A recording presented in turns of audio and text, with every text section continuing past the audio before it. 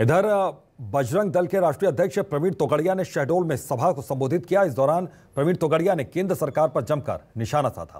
उन्होंने कहा कि सरकार को गौ रक्षा के लिए कानून बनाना चाहिए। इस दौरान उन्होंने हर एक हिंदू को रोज़गार, गरीब हिंदू को भोजन, बीमार हिंदू को स्वास्थ्य सुविधा और निरपराध हिंदू को जेल से जमानत दिलवाने का संकल्प दोहराया।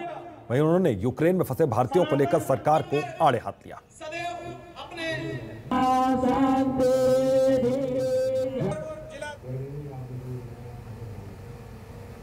अरे हिंदू ही खतरे में है। कश्मीर में भी कोई पंडिता ज़िंदा नहीं रहता है तो हिंदू को खतरा है। और बोलो, मेरे भाई बोलो, केंद्र और राज्य में भाजपा की सरकार और सात वर्षों के बाद कश्मीरी हिंदुओं को घर में बसा नहीं पाएँगे। क्यों नहीं बसा पाएँगे? वह खतरा है तो। सरकार को गौरक्षा का और गौ हत्या बंदी का केंद्रीय कानून बनाना ही चाहिए।